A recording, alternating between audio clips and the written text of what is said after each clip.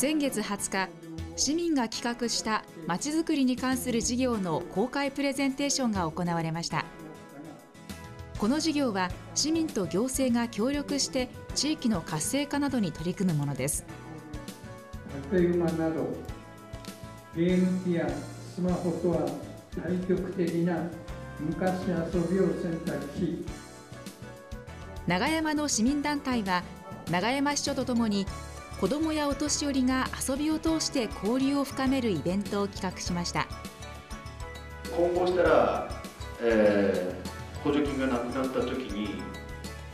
どうこの授業を続けていくのか。17の市民活動団体から事業の概要や効果について発表がありどの企画を採択するかについて審査が行われました。審査結果は旭川市ホームページで公開しています赤ちゃんを持つ親を対象にした離乳食教室が旭川市役所第二庁舎で行われました。親たちは栄養士から離乳食についての話を聞いた後煮込んで小さく刻んだ人参やほうれん草の離乳食を試食しました。すごく柔らかくて野菜ジュースみたいです。離乳食はまず親が試食して子どもにちょうどいいかを確認してから与えることが大切という話がありその後ほうれん草のスープなど離乳食の作り方を学びました。次回は6月5日に行われます。興味のある方は旭川市保健所保健指導課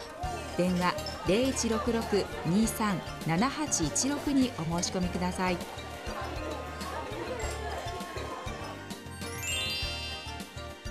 人事課では平成30年度に採用する旭川市職員を募集しています。職種は大学卒の事務職と技術職です。詳細は旭川市人事課までお問い合わせください。次回6月10日土曜日の旭川市民ニュースは午前9時49分から放送します。ぜひご覧ください。